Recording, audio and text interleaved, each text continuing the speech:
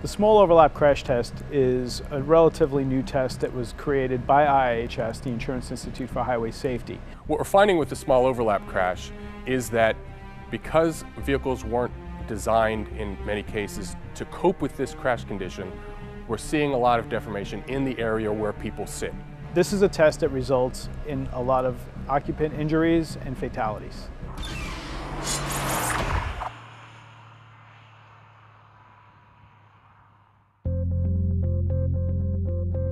The Insurance Institute for Highway Safety is one of the leading organizations producing research on the safety of cars, the safety of roads, and the effectiveness of laws to try and deal with the problem of car crashes. The research center was opened in 1992 and we began crash testing in January of 1993. And today we're um, adding the small overlap crash test to our suite of tests. The purpose of a crash test dummy is to let us know how well the restraint systems within the vehicle did at protecting an occupant during a specific crash. A dummy is uh, primarily made up of, of metal and, and, vinyl parts, and we fill the dummy's head, neck, chest, and extremities with different sensors that give us an indication of how different external forces acting on the dummy would lead to injury.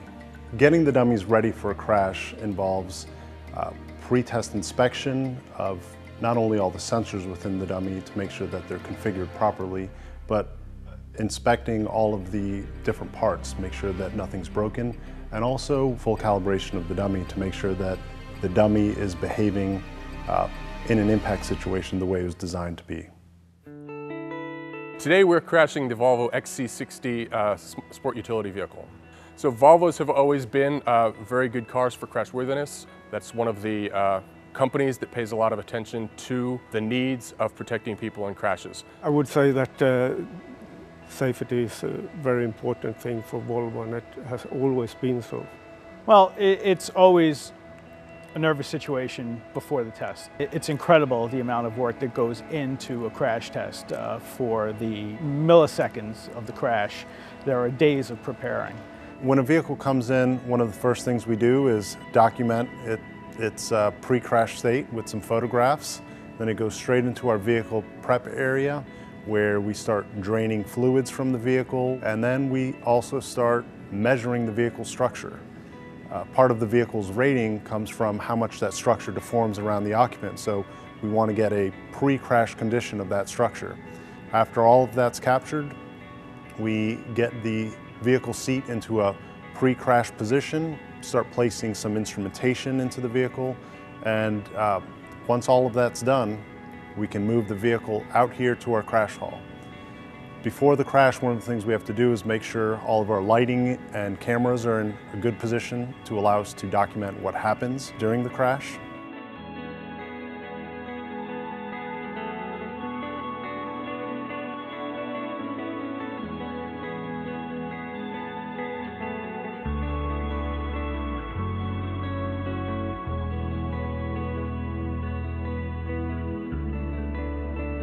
Following the crash hall, we can move the vehicle way back into our shed to uh, let the vehicle and the dummy sit in the temperature controlled shed right before the crash. So when we prep the dummy right before the crash, one of the things we do is place makeup or grease paint on the dummy's head, and also on, on the dummy's knees. And the reason we do this is so that we can, after the crash, document the different head contact locations and, and have some indication as to where the head loaded the airbag or slid off and hit another vehicle component. After that, we go through some final dummy positioning and then we crash the car.